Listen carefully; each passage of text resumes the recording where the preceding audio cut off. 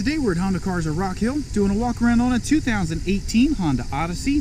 We're going to start up front checking our tires. Great tread, nice set of alloy wheels.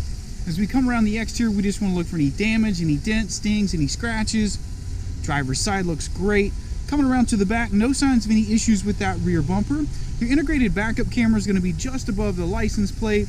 Then as we finish up over here on the passenger side, you'll notice the exterior has been well maintained. Inside the Odyssey, you're going to have full power windows and locks, full power driver seat with several memory settings. It's going to be a tan leather. 15020 is your current mileage. Your information display here on the dash is going to have navigation pulled up, all going to be touchscreen so we can go back to our radio settings, AM, FM, satellite radio, Bluetooth, Pandora, anything you could imagine there. Again, all the, the features and functionality here is all going to be touchscreen. Climate control is going to be just below it.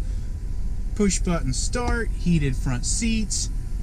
As we go down lower yet, we still have multiple power and USB ports. You've got some additional options inside that center console also. Taking a look in our second row now, we're just going to do a quick pan over the seating surface, looking for any damage. Everything back here looks great.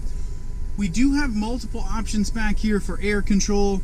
You've got those controls right there above the passenger seat. DVD entertainment center, multiple power and USB ports hidden down below. Flooring surface looks great. Full power liftgate in the back of the Odyssey. You've got a nice well for storage down here. All of your original mats have been included. There is an all-weather mat back here. As you can see, it does have a lip around the edge. You're going to keep any liquids or spills inside. And the best part about these back seats is one pull, and they do fall right down into the floor, so no flipping and folding seats. You can do that with both of these rear seats. Those second row seats will flip and fold, moving them forward, giving you a lot of additional cargo space here in the back. And then just as easily, they flip right back into their spot, back where we started. Taking another look at the second row now from the passenger side. One more spin around. On the far side of the window here, you'll notice that sunshade is up. They do have those for both of your second row passengers.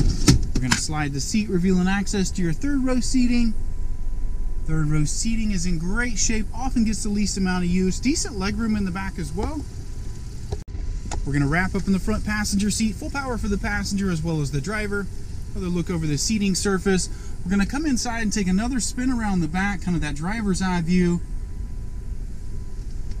Last but not least, this model does come equipped with a sunroof, and that's going to wrap up your 2018 Honda Odyssey.